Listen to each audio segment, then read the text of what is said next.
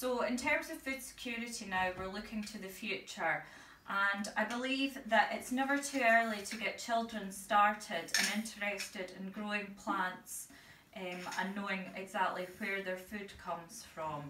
So I think that it's really important if you do have children, encourage them from an early age to play about with soil and seeds, some seeds, um, so that they know